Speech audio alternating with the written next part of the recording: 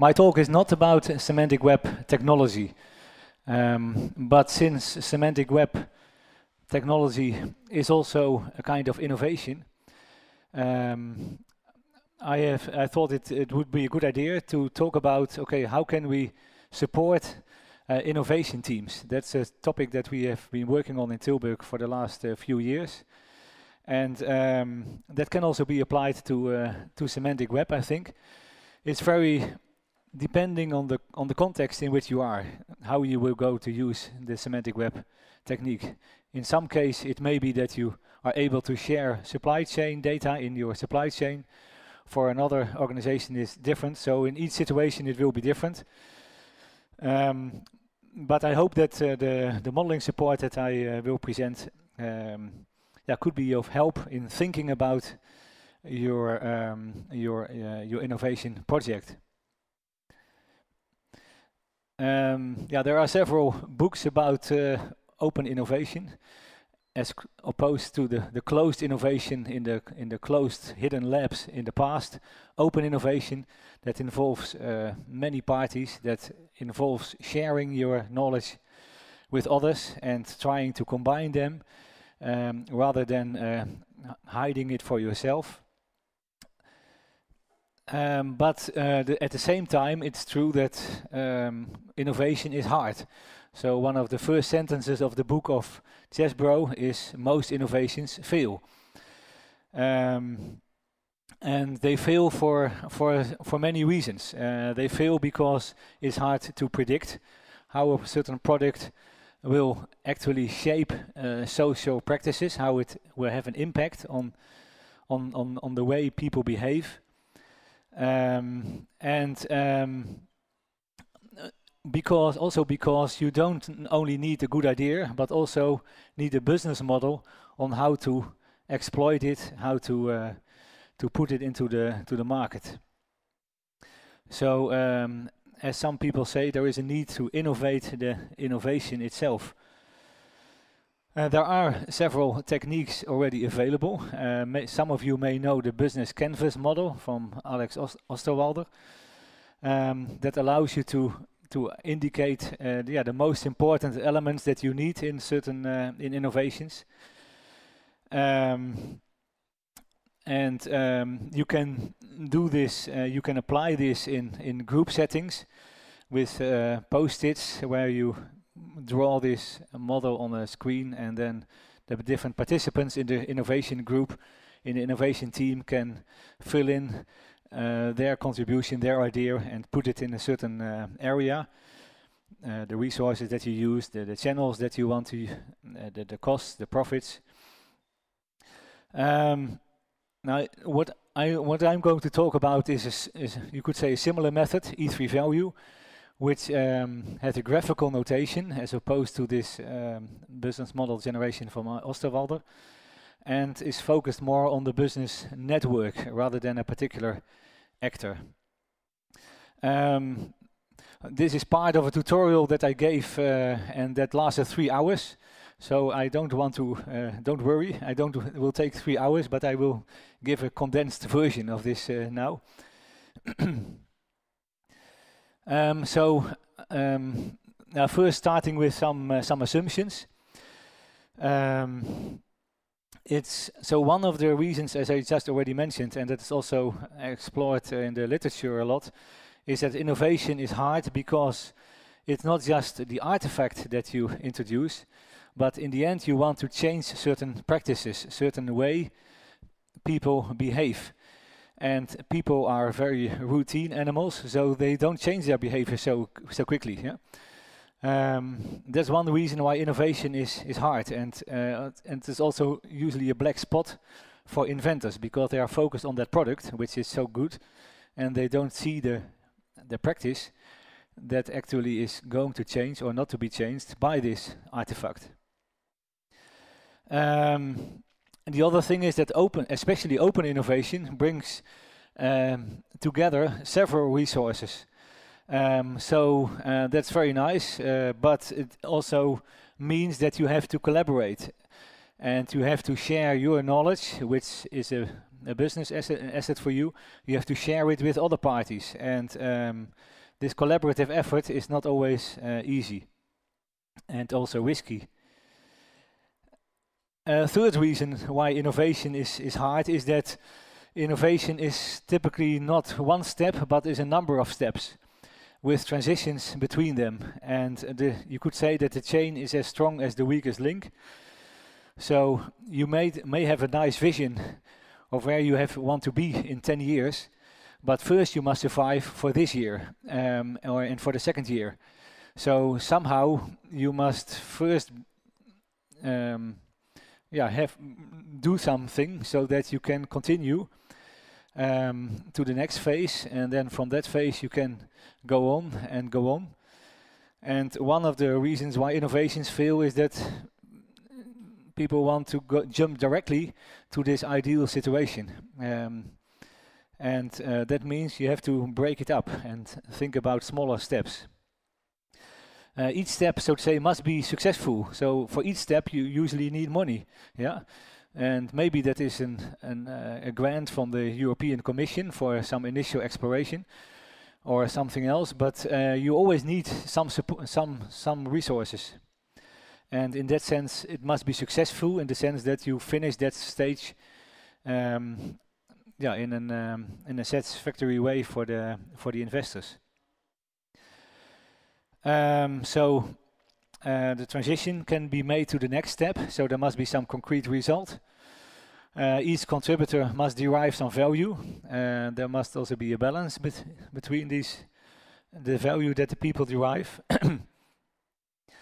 Uh, and each person, each contributor must be satisfied about the process if you bring it to an end, but the person himself is exhausted at the end and not really satisfied about the collaboration, and then he will also not continue.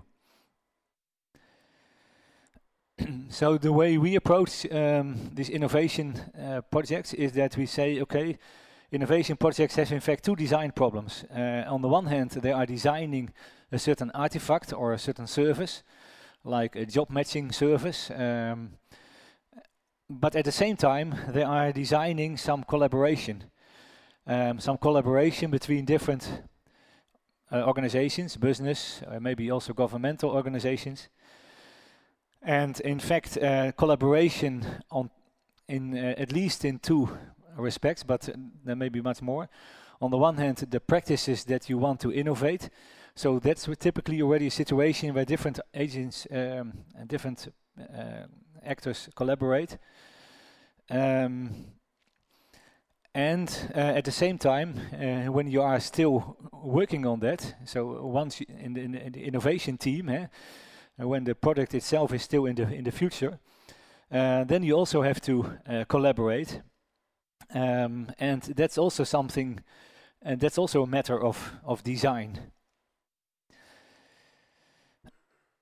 Um, now, our another assumption is that this collaboration, uh, that or the design of this collaboration profits from modeling, because uh, processes are big and complex. Humans actors can cannot overview it. Um, there are transitions between boundaries, so you, it's hard to look over the over these boundaries and, and see what is exactly happening in the development team or vice versa. Um, so there is a need for models that provide overview, shared models, collective memory, um, um, collective memory. Uh, a complaint that we have heard a lot in the last few years when we were working in Tilburg is that someone participated in some innovation team and had a very good idea there. Um, and then afterwards, when the product in, uh, or the service was actually going to be used, then everybody was forgotten that this idea came from this person, and it um, um, and it was said yes, this was just a common effort, or it came from that person. Uh, that can be very frustrating. Um, models can also be a an, an, an tool for reflection.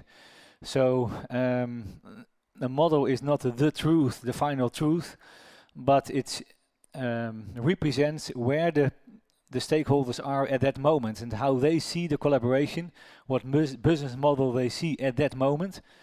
And once you put that on, on paper or on the screen, or at least in some representation, then you can walk back and say, okay, hey, it is, um, there is something missing.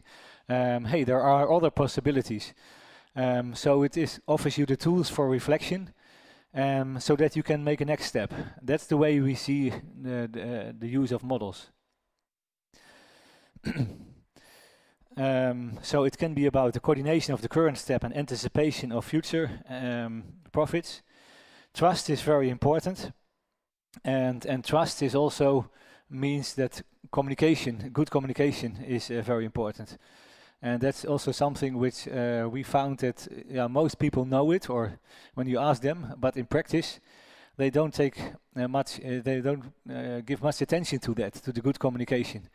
And they hardly make notes, for example, of uh, of a record who has done what, or what are the actions to be done for the before the next meeting. Um, so um, not to spend too much time. Um, so the the tool that we are currently developing is is, is built around E3 value. E3 value is an existing method and tool, and we are currently extending it. But I will now talk mainly about the E3 value as such. Um, which is freely downloadable from uh, this uh, website and uh, from the VU Amsterdam. And the, the basic idea is that you model actors and the value objects that they exchange. So it's not about modeling processes, not about modeling which information do different parties have to exchange in orders and confirmations and uh, acknowledgements, etc. It only focuses on, okay, what is the real value that is going from one actor to the other? And usually there is some kind of reciprocity that when you give something, you also want something back. And uh, that can be from the other actor. That can also be more complicated when you have a network.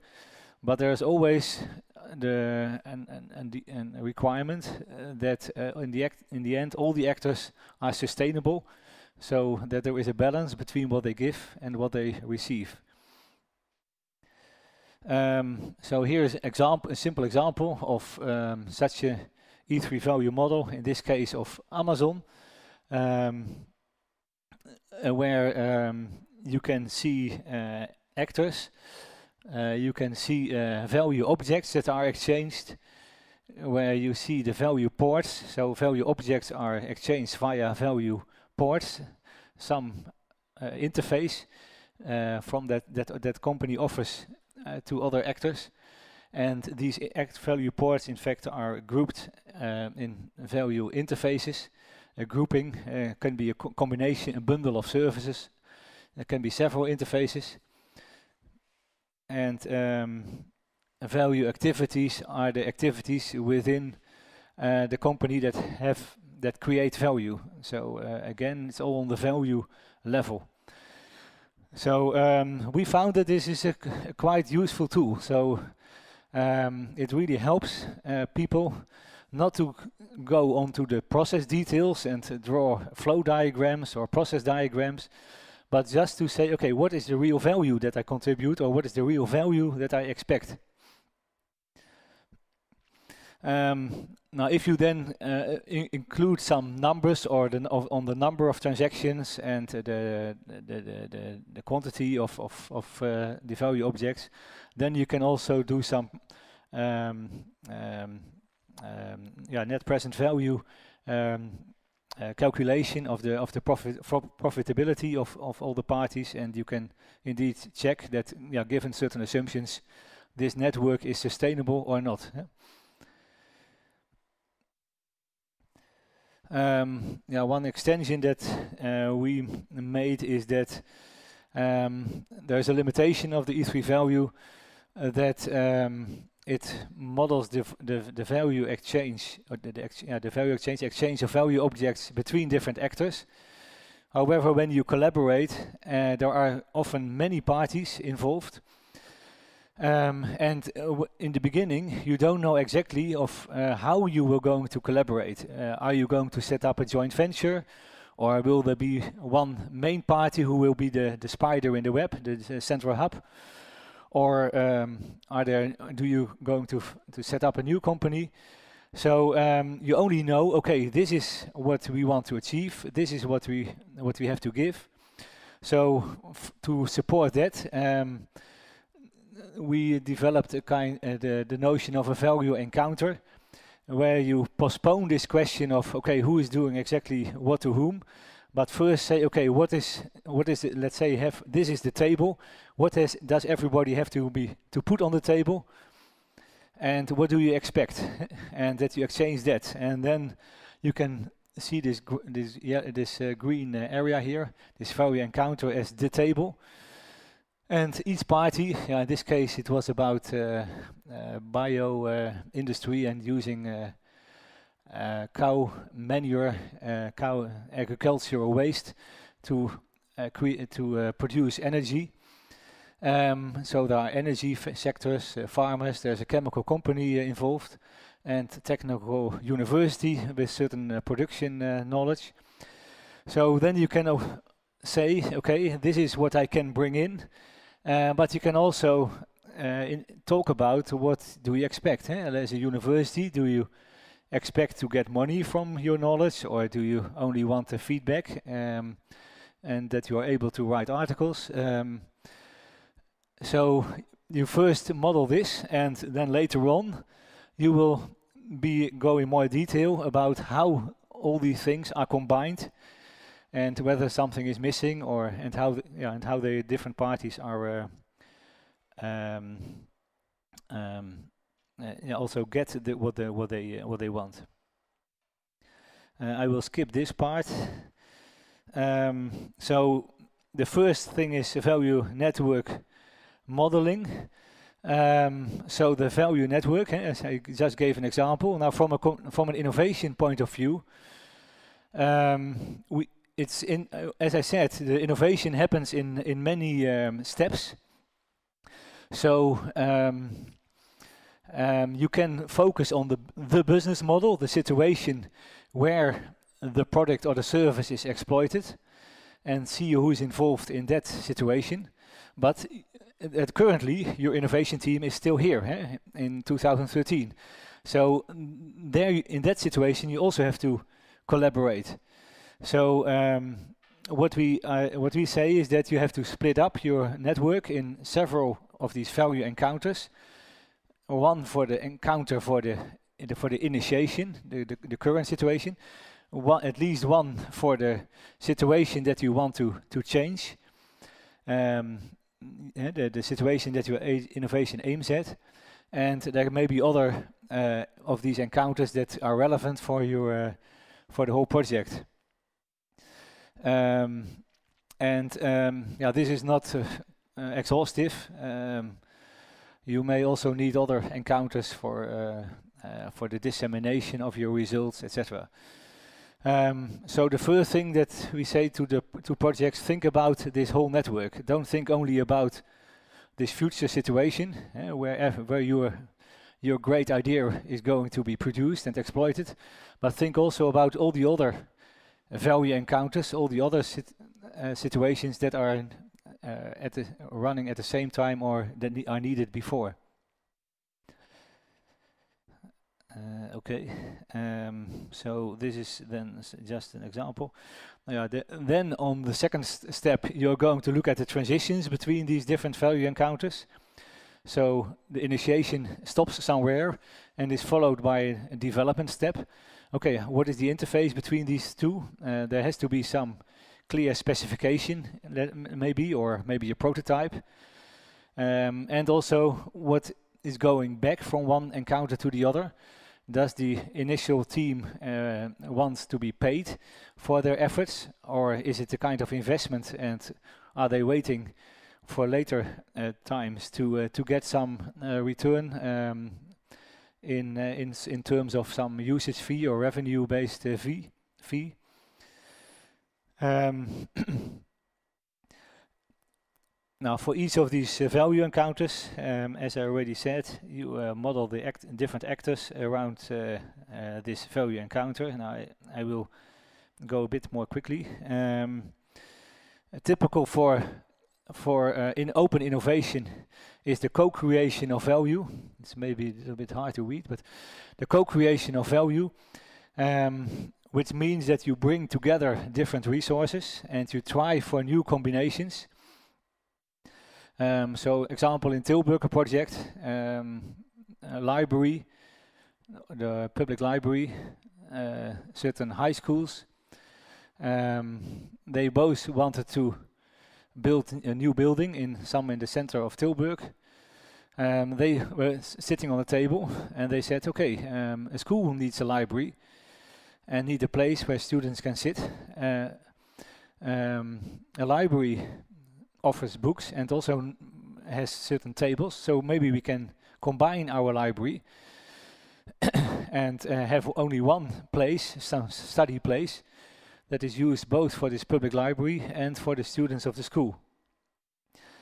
Um, so you combine certain resources and you use it for different um, for different purposes. So not for just for one purpose, but for in this case, you have different inputs. But um, what as the way I described it is that is that what what you create then this this shared li this shared uh, library huh, in the traditional sense is um, used by multiple uh, uh, groups um, and has different purposes rather than only one purpose of okay this is for the students of the school um, okay. Um, then uh, uh, projects are um, um, are never an island. No project is an island.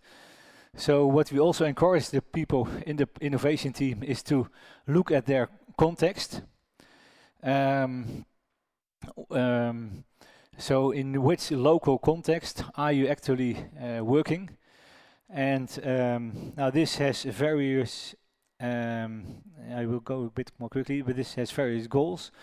Uh, one simple goal is that in this way you build common ground for the participants. And remember that trust is very important in innovation teams.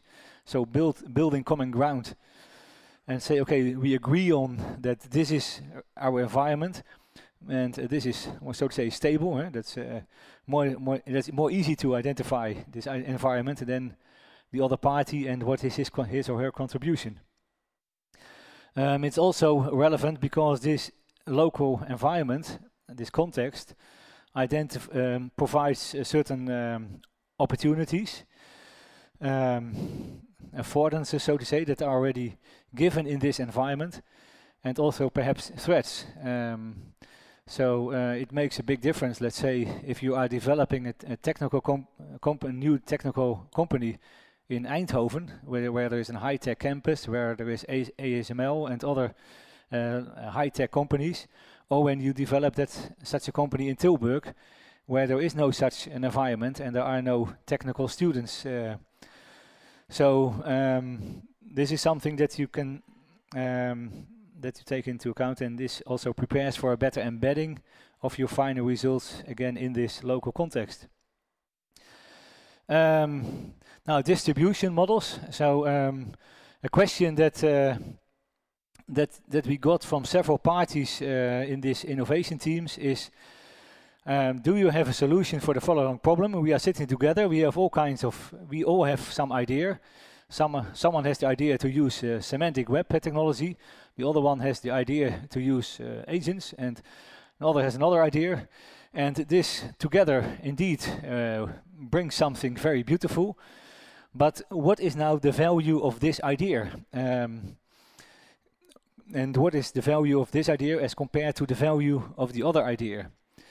Um, can you say this idea was 1,000 euro or was it 10,000 euro or how do you know?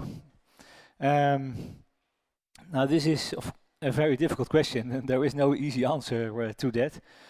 Um, but what we uh, have developed now and are still developing is that um, a model of, of at least how to deal with this question um, where we uh, look at, uh, where we also pay attention to the, the right transfers between the different value encounters and the revenue streams that come from, let's say, the future exploitation case back to the original um, initiation uh, initiators and the investments that they made.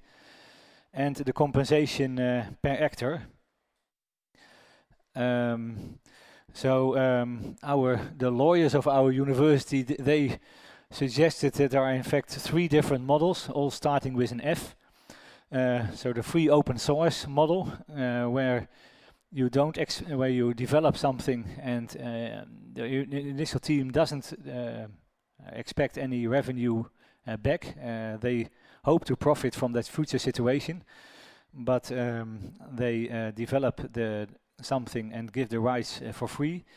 The franchising situation and the and the what what they call the film as a typical example of a situation where you have to do a lot of investments in advance, um, high investments of millions of, of dollars, um, where you also uh, make quite precise contracts about how much each uh, participant will uh, actor uh, in this literal case, how each one will um, profit from um, uh, from the future exploitation, and um, um, yeah, then um, yeah, give usage uh, licenses to uh, to uh, to the exploiters.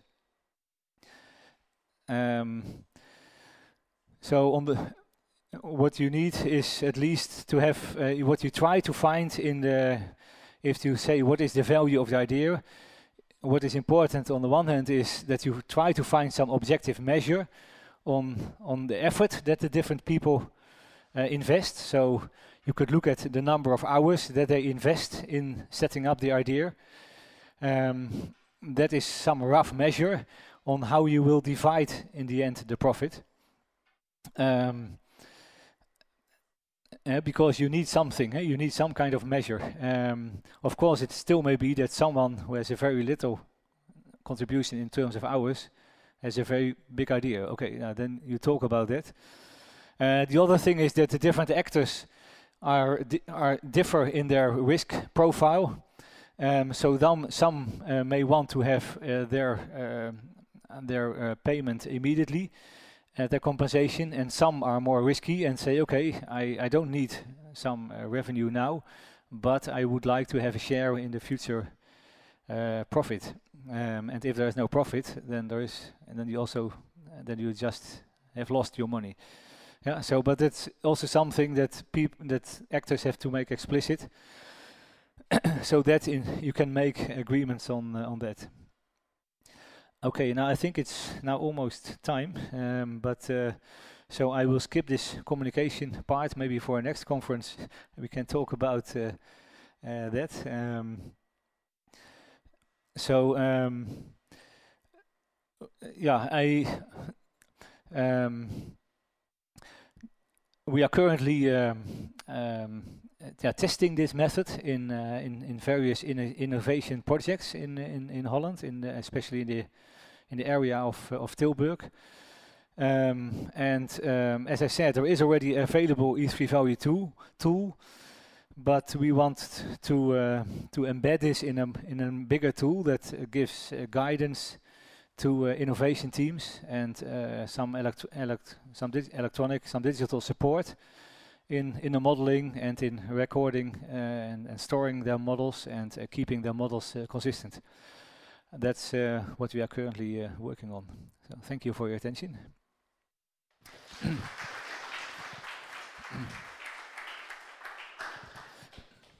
Okay, time for questions.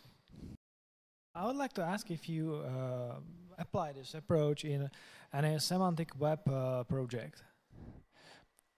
So, so how to apply? Uh, if you, if you, so if you apply this uh, uh, concept for any uh, semantic web project, yeah. If you have any experience in this area.